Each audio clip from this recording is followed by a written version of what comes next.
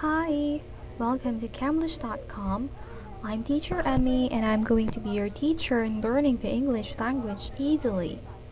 The title of our book is Classroom English. This is a practical guide to teaching English through English. Okay, now let's start discussing our lesson. Alright, we're now on our lesson number two. Okay, and for lesson number two, we're going to learn about this topic.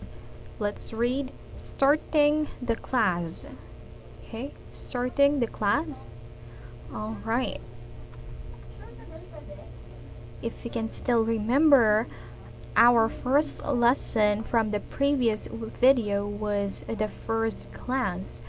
Now we're going to continue that and let's try to see what we're going to learn on here on this part which is starting the class okay? Now let's try to see the dialogues here. Uh, before the dialogues let's go to the teacher's language first. So you can see here teacher's language Let's read good morning or afternoon class. Okay, if the class is in the morning, of course the teacher will say good morning class. But if the class starts in the afternoon, the teacher will say good afternoon class. Okay, that's how the teacher uh, will say it first. Now, next one we have here how is everyone today? How is everyone today? Okay, so this time let's go to students' language. And the students can reply or can say, Fine, thank you. So this is what the students can say after the teacher asks them, How is everyone today? Okay, now let's try to see the dialogues here below so we can understand it better dialogue. Remember, T is for teacher, SS is for the students. Teacher, good morning, class. Good afternoon, class. And the students may say good morning or good afternoon. Next uh, dialogue, teacher, how is everyone today? How is everyone today? The students can reply or can say, Fine, thank you. Teacher, it's a nice day, isn't it? The, the students may say, Yes. Okay, so that's it for our dialogue. Now let's go to other expressions on this part now, okay? So number one, we can see here, good morning, or good afternoon class. The teacher can also say good morning everybody or good afternoon everybody. Or the teacher can also say hi everybody or hello everyone. Okay, so you can see there. Now on number two, how is everyone today? The teacher can also say, How are you today? Or How are you this morning? How are you this afternoon? Okay, those are some things that the teacher can say aside from How is everyone today? Next one here. How is everyone doing today? How is everyone doing this morning?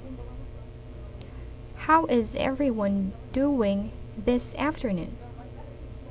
Okay, so this sentences or questions just has the same meaning as this one. So the teacher can say this or this one uh, or this one. Okay, like just like number one. Alright, now you can see here below the dialogue in their Korean translation. So the dialogue that we've just read from the previous page. Alright, so that's it for lesson number two. Now let's go to lesson number three this time. So, lesson number three is checking attendance. Checking attendance. Okay, now let's go to teacher's language. For example, the teacher may say, Mira's not here. Does anyone know why she's absent? Let's start the class. Okay, so let's go here below on the dialogue part so we may understand what that means. Okay, we'll see here the activity that the teacher is checking attendance. Okay, let's read the dialogue. Teacher, oh, Mira's not here. Mira here is a name of a girl, okay? Does anyone know why she's absent? So the teacher is asking a question why the girl, Mira, is absent. The students, no. The teacher, okay, well, let's start the class. Other expressions we may see here. Number one, Mira's not here. Or the teacher can also say Mira is absent today. I don't see Mira. Alright, so next one. Number two, does anyone know why she is absent? Or the teacher could also say, I wonder why she didn't come to school today. Number three, let's start the class. Or let's begin the class. Or let's get started. Another one here is, shall we start?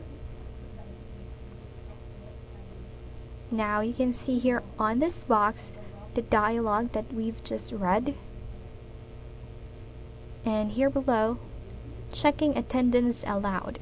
The teacher may say, Kim Mira? Where is Kim Mira?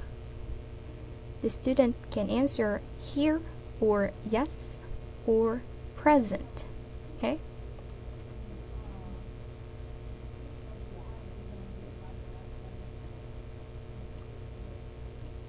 So that's it for our lessons number two and number three.